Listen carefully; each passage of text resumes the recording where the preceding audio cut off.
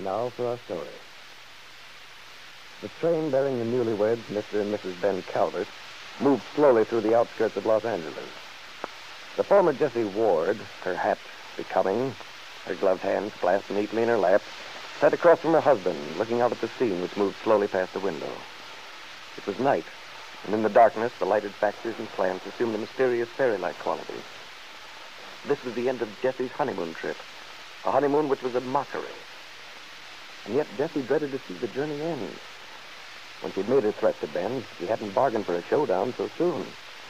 She'd imagined she could forestall it. But Ben, determined to see his daughter and take matters into his own hands, had demanded Kit's address, and Jessie'd been unable to refuse. Now, anticipating the meeting with Kit and the disclosure of her trickery, it was all Jessie could do to hide her nervousness and fear from Ben's distrustful eyes. But some miles away at Malibu Beach outside the city, the object of Jessie's fears was in an opposite mood. Mrs. Kit Mead this evening was feeling quite pleased with herself. She'd always been able to shape things to her liking until she'd been faced with her husband's attachment to Peggy Douglas. Now she was convinced she could handle that situation. Her fears about her coming baby were no longer so acute. And the knowledge that Paul Cromwell still loved her, that she could still influence him, had been a great lift to her ego. She was in the end. She was in the end.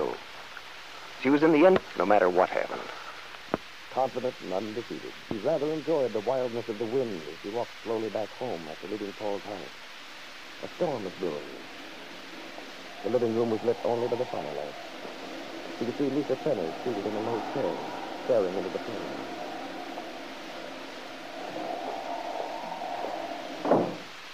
Oh, hello there, Lisa. Lord, what a night this is going to be. The weather doesn't seem to have dampened your spirits. Oh, I find this sort of night quite stimulating. Yes, I. I suppose you do. The unleashed fury of nature. All that sort of thing. Personally, I find the unleashed fury of nature rather disturbing. Did you have a nice time tonight, Kit? Did anything exciting or, or interesting happen? Well, let's see. Paul and I sat through a double feature. That's not necessarily exciting. Simply requires endurance. I suppose you stopped off for something to eat. Oh, no. No, we went back to Paul's house and talked for about an hour. How is Paul, by the way? Oh, fine. He asked about you. Did he? And what did you tell him, Kit? Uh, look, uh, what's the matter with you, Lisa? I seem to detect a chill in the atmosphere, and I, I don't quite get what it's about. You have no idea? No, of course not. All I know is that you were feeling very cheerful and agreeable when I left this evening. Well, I might as well tell you, Kit. The fact is, I. I went over to Paul's tonight. Oh, you did? Well, what a pity we missed you. But you didn't miss me, Kit. Well, that is, I didn't miss you. It was after you'd gotten back from the movies. Oh. Well, for heaven's sake, why didn't you come in? I couldn't. Oh, why not? I saw something. You saw something? Yes. Well, you know what I'm talking about, Kit. No, I can't say that I do. I remember everything that happened between me and Paul quite well, and I don't doubt that you do, Kit. and as I was going to say, I hardly see. What is this anyway? The third degree? No, Kit. Just a few questions I think I have a right to ask. Well, ask them then. I wish you'd stop hedging. All right. Exactly what did go on between you and Paul tonight? Oh, Lisa, are you upset because we didn't come straight back here? Paul and I got started talking about old times. About old times. I see. Yes. Is there anything wrong in that? That depends. Well, if you insist on a play-by-play description, I'll give it to you. We came in, walked over to the window, and sat down.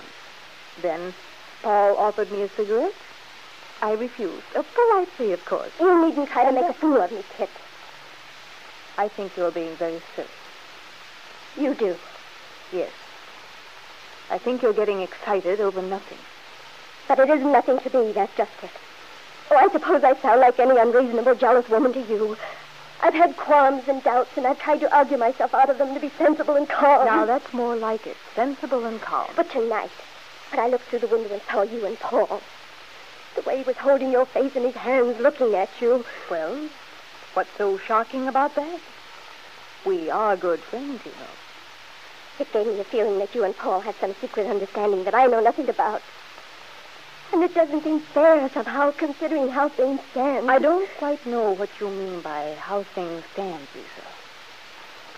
As to there being some special understanding between Paul and myself, I freely admitted it's true. We were, after all, close friends a few years ago in New York. And those things just don't dissolve into nothing. Apparently not. And moreover, there's no reason why they should. If you think you and Paul have reached an agreement, well and good. But what happened in Paul's past is another story. But sometimes the past affects the present. Look, Lisa, why talk to me? Why not talk to Paul if you're dissatisfied with the way things are? Because you're the one. Aren't who... you assuming a great deal? Besides, why can't you be content to rest on your laurels? After all, every woman can't be the first and only love in a man's life. I'm aware of that, Kit. But Paul and I were getting along so well. And then it seemed as if everything changed. And you think I'm the witch who's spoiling your fairy tale romance? Heaven knows I've stayed out of the way as much as I could. But it's too bad I can't control Paul's feelings for you. Frankly, Lisa, I'm. I'm rather shocked. I should think you'd have more pride. I. I'm past caring about pride, Kit. When you're really in love with someone like I am, pride becomes unimportant and you see things more clearly. I even begin to understand you a lot better. Indeed. And just what does your feminine intuition tell you about me? Well, when I first saw you, I thought you were one of the most honest people I'd ever met. I trusted you, told you about myself. You seemed so frank and open. But now I'm beginning to wonder. Are you? On what basis? Well, you never mention your husband. You don't seem to care about the baby you're going to have. It could be that I'm not interested in baring my soul. No, Lisa. What bothers you is just that I'm more realistic about things than you are. But I think it's wiser not to get into a discussion of character. You see, there may be a few flaws in your own. I admit you're in a bad spot. But to use the fact that your husband deserted you in order to play on a man's sympathy. Oh, but that's not true. I love Paul. That's why I came down here. And now everything's all mixed up. Oh, you're just upset and nervous. If you'd only let things take their natural course. After all, you'll have the baby. With the baby. Without Paul, with. I mean, the reason I'm so happy about the baby is because of Paul. And with his money, he could do so much for the baby. Believe me, Lisa, I have no desire to cut in on your relationship with Paul. I think I know what you want. And I'm doing my very best to help you get it, whether you believe me or not. I don't want your help, Kit. I don't want anything from you. And I'm not going to continue living here in your house. Don't be a fool. Of course you'll stay here. Because there's nothing else you can do.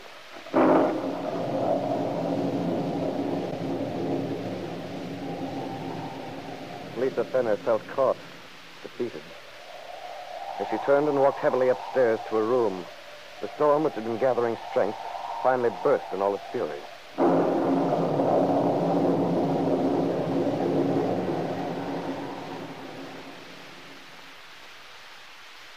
Kit sat before the fireplace.